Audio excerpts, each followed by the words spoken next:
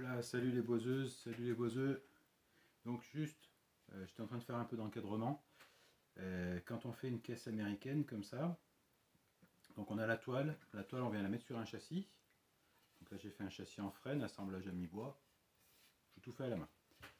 Et ensuite on a ce profil là, je sais pas si on voit, j'espère qu'on voit bien, euh, qui va venir accueillir donc le cadre avec la toile dessus et c'est ça qui fait qu'on va avoir l'impression en quelque sorte qu'on est suspendu hein, euh, au-dessus du cadre, puisqu'on ne verra pas euh, l'ouvrage qui va toucher le cadre. Voilà, c'est ça la caisse américaine.